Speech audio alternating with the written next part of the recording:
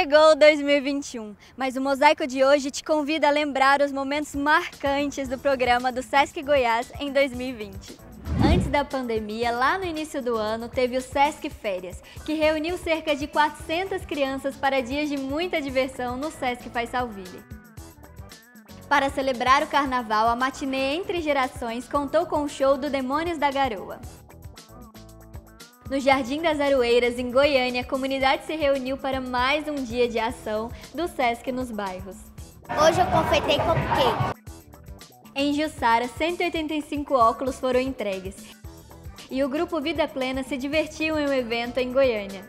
Isso é, é uma maneira de mais alegria e conviver com pessoas maravilhosas. Mas aí veio a pandemia. E você acha que o SESC parou? Não. As lives de artistas famosos arrecadaram toneladas de alimentos para famílias que sentiram a renda cair com tudo parado.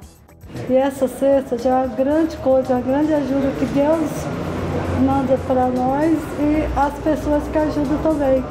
E teve também live de exercícios físicos, recreação, todo mundo ficou ligadinho com o Sesc. Para mim foi maravilhoso, está sendo maravilhoso poder acompanhar, manter aquilo que eu já conquistei na academia, né? Não ficar parada. Gente, isso é importante demais da conta. Nós temos aprendido bastante com as lives do SESC, com as atividades recreativas. Tem sido muito importante para que a gente aprenda cada vez novas atividades para inserir nessa rotina nossa tão desafiadora. Achei uma proposta muito legal e a gente espera que o SESC continue trazendo essa série de atividades para nós. E não parou por aí. A colônia de férias foi realizada direto da telinha do computador, assim como o festival Sesc Geek e as aulas do Sesc Cidadania que continuaram de forma remota. Eu acredito que essa proposta do Sesc foi muito assertiva. Eu só tenho a agradecer. E o que dizer do drive-thru?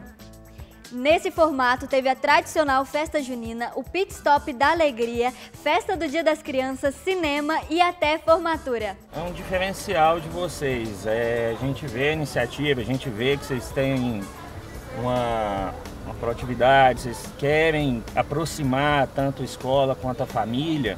Então é, é bacana, a gente vê que é, é, é diferente dos outros lugares.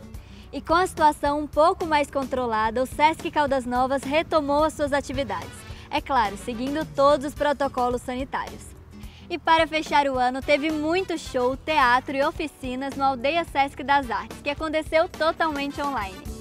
E o lançamento do projeto Se Essa Rua Fosse Minha, que está oferecendo até março atendimento odontológico para os moradores de rua. Viu só quanta coisa o Sesc realizou em 2020? E fique ligado, porque 2021 só está começando. Desejo que todos os ensinamentos aprendidos em 2020 não sejam esquecidos em 2021. Que seja um ano muito bom, de muitas esperanças, muitas coisas boas. Então, que seja um ano maravilhoso a todos. Eu espero muito amor no ano de 2021. Acredito plenamente que muita coisa boa virá aí para nós. E que nós possamos conseguir chegar até o coração das pessoas como nós fizemos é, em 2020. Que venham novos planos. Um beijo, feliz 2021. Vamos abraçar o novo e vamos fazer um melhor 2021. Passando aqui para desejar para todos vocês um 2021 repleto de muita paz, saúde, muita alegria e muita diversão, hein? Desejo que todas as dificuldades acabem também. E acima de tudo, fé. Fé em Deus, fé no novo, fé em que todos nós, todos, vamos ficar bem. 2021 chegou. É isso aí. Vamos lá? Partiu? Vamos junto? Viu só? Não deixe de ver o Mosaico. Aqui a gente vai continuar contando histórias e mostrando como o Sesc vem transformando a vida das pessoas. Até mais, tchau!